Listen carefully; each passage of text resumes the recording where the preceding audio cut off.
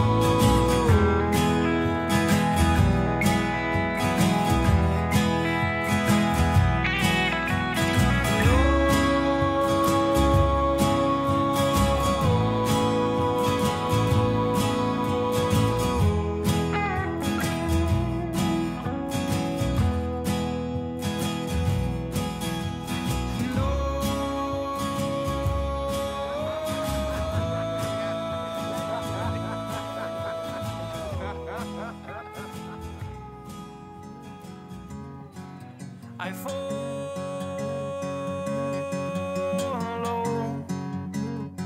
to the secret place where we first